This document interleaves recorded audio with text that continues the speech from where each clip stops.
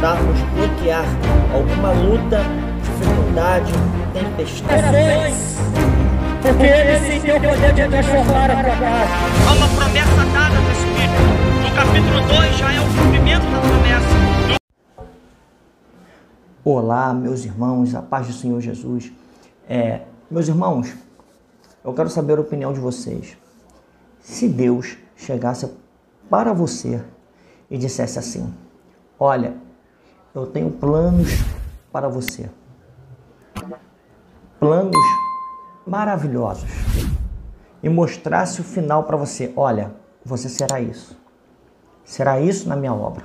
Mas se Deus mostrasse para você todo o processo de que você teria que passar para chegar até onde Deus quer que você chegue. Até onde Deus falou para você e te mostrou lá no final. No final, olha, é isso aí. Mas se te mostrasse o processo, você aceitaria, toparia ou você largaria? Irmãos, ninguém quer sofrer. Ninguém quer passar pela moenda. Ninguém quer perder. Ninguém quer chorar. Se eu chegar para você, irmão, tu quer chorar hoje? Tu quer sentir fome, passar pela espada, apanhar pelo evangelho, chorar, quer passar decepção, frustração, quer? Você ia, dizer para mim, não quero, Tiago.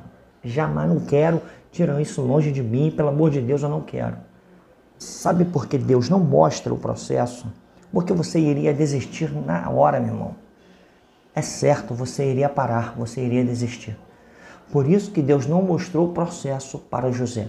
Hoje, na parte da tarde, nós estávamos conversando sobre isso com o irmão em Cristo, né? o irmão Ricardo, do canal Preparadores para Cristo. Né? E nós estávamos, estávamos conversando sobre isso.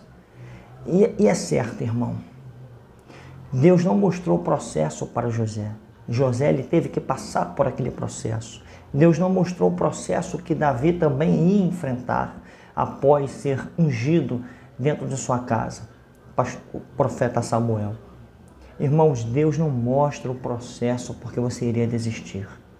Então, querido, passe o que tiver que passar. Se foi Deus que falou para você que você vai ser, que você vai chegar, primeiramente, entregue-se a Ele totalmente. Deixa Deus trabalhar na sua vida. Deus é Deus, não é homem para que minta, nem filho do homem para que se arrependa. Deus jamais vai mostrar o processo para você. Ah, irmão Tiago, eu recebi, eu tenho promessas é, na obra de Deus. Irmãos, vá, vai semeando, vai semeando, vai semeando. Semeie, trabalhe para o, para o Senhor, porque Deus é poderoso. Amém? É uma reflexão. Medite nisso.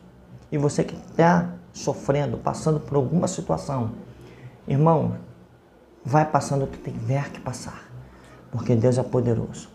Deus te abençoe. Se você gostou aí dessa reflexão, compartilhe, se inscreva aqui no canal, irmão, me ajuda aí, deixa aquele teu like abençoado, se inscreva no canal e ative o sininho das notificações. Amém? Deus te abençoe.